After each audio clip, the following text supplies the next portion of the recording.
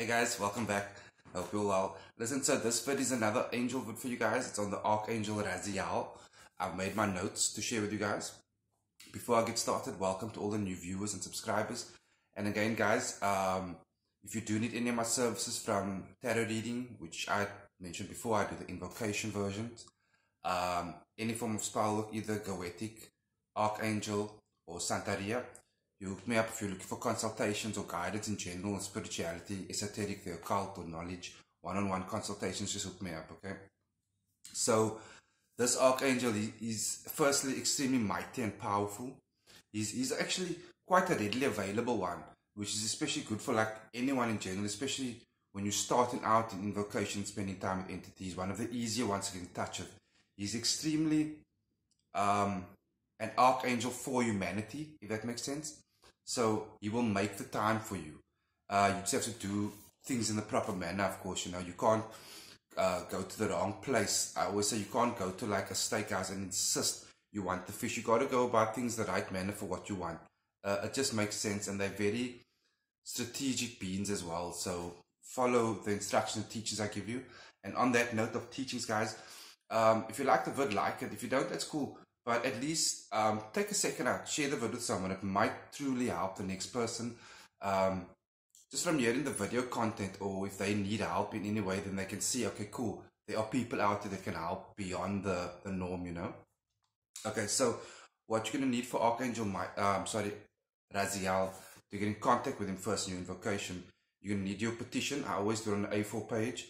On the A4 page, I'm going to hand draw his sigil. And again, you are welcome to adorn your altar area any way you like in an appropriate manner. Printed, framed um, sigils, pics of him, anything that represents him is cool. But on your petition, this is important. The hand-drawn sigil, which I'll give you the example of the one I use. Okay. Um, again, it doesn't have to be the neatest as long as it's pretty accurate.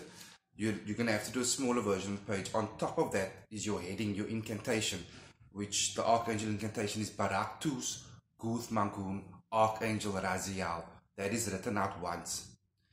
Followed by that is your welcoming letter to him, okay? Which should always start similar to I welcome you into my home and my life. I go further than that. I ask him, the entity to flow through me and over me and to work with me and on my behalf. And I will call out the incantation at least six times. You can do it as many times you want to thereafter, but at least six times and then you've got your written petition, you're calling it out. You will have his two candles lit. For him, you can double it up if you like, but just to start with one white, one yellow candle. I like to adorn it either with rosewood oil or olive oil. I will further adorn it with mixed herbs or dry parsley. Um, you can you can bind them together if you like. That's cool. If you don't want to, you can keep them separate. That's also fine. What's important now is left hand over sigil, right hand facing up, looking into the candles and the sigil and the sigil. Start calling out the incantation and thinking of entity and his presence. Close eyes and now everything you've written and verbalized, inviting him into your home, asking for his guidance and help in his vibrant um, energy. You start to visualize it and you literally start to see it coming into your presence and you welcome in with a hand gesture placing him upon your shoulders, placing him around you, placing him in your home. And again, keep in mind with this one, he's he's a teacher of note, he's a spiritual teacher, he's a guide, he's a comforter. And I, I found with him, because of his humane nature and love for humanity, when it comes to life lessons, which we all go through, no matter what we try to do to avoid, I guarantee you guys, you're going to go through life lessons, right? And oftentimes you might find yourself repeating a lesson over and over or going through shit over and over, then you might think it's a generational curse. And yeah, for sure, in some instances it is. But a lot of times also, when we don't learn the lesson the first time around, right, and we don't grow from it and overcome it and truly, you know, go beyond that lesson, you're going to learn it again. Okay? So, what is amazing about Archangel Raziel is if you form that relationship with him, the initial invocation, and you keep regular invocation with him. And even beyond the actual setting up, you can just thereafter start lighting a candle to him once a week, once a month. But the more time you spend with him, the regular you are with him, the better your relationship will be.